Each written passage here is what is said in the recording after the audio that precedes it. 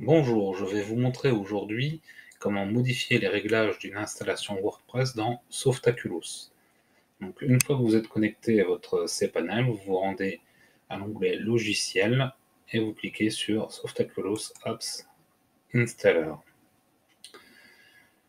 Donc, vous avez euh, la liste de vos installations euh, via Softaculous. Donc là, moi, il n'y en a qu'une, donc on va s'occuper de celle-ci.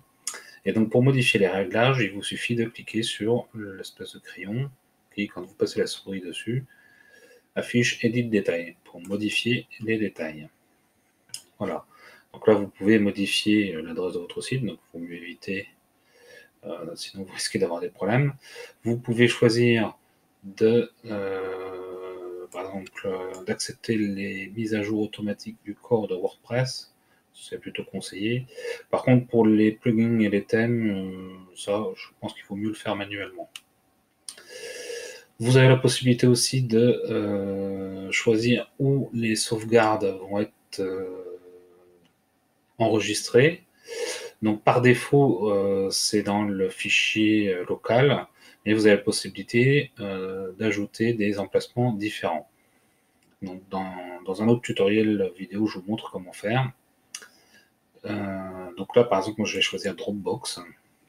Et donc, pour les euh, sauvegardes automatiques, soit vous en faites pas du tout, soit vous en faites une par jour, une par semaine, une par mois, ou alors personnalisé. Là, c'est si vous voulez vraiment euh, faire du sur mesure.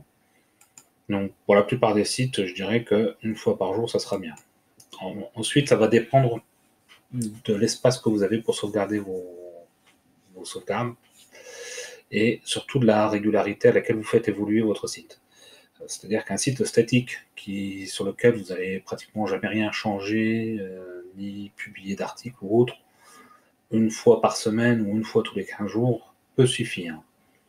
Par contre, si vous publiez tous les jours, voire même plusieurs articles euh, ou pages tous les jours sur une boutique en ligne, là, il faudra faire minimum une fois par jour, voire même plusieurs fois par jour.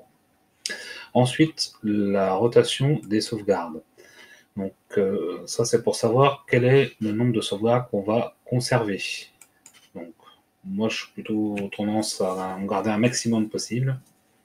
Parce que si vous voulez, au bout de 10 sauvegardes, la 11e va venir écraser la première. Donc euh, si vous avez de l'espace euh, d'hébergement pour votre sauvegarde, n'hésitez pas à conserver le plus possible. Ensuite, euh, vous avez la possibilité de sélectionner les fichiers. Bon, moi ça, en général, j'y touche pas. Euh, d'autant plus que là, a priori, euh, on n'a pas trop de, détails. Ça dépend des installations. Mais de toute façon, moi j'ai pris pour habitude de tout sauvegarder, comme ça on est sûr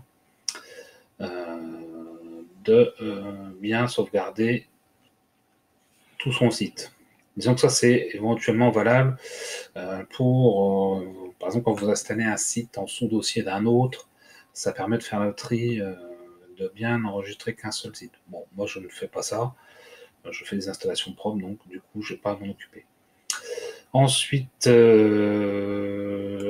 pour sélectionner voilà, donc les fichiers que vous auriez éventuellement sélectionnés là, vous décidez de les inclure ou pas sauvegarde.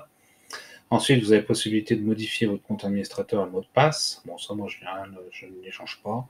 Et selon votre hébergeur, vous allez pouvoir euh, ajouter euh, une ou plusieurs extensions. Donc ici, il n'y en a qu'une seule. Euh, chez d'autres, il peut y en avoir plusieurs ou des thèmes. Bon, ça, moi, personnellement, je n'y touche pas.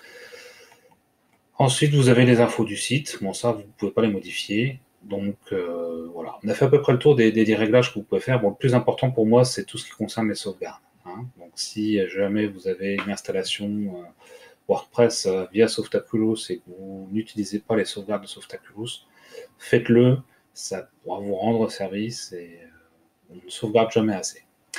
Voilà, et eh bien écoutez, je vous dis à bientôt pour un prochain tutoriel vidéo. Ciao, ciao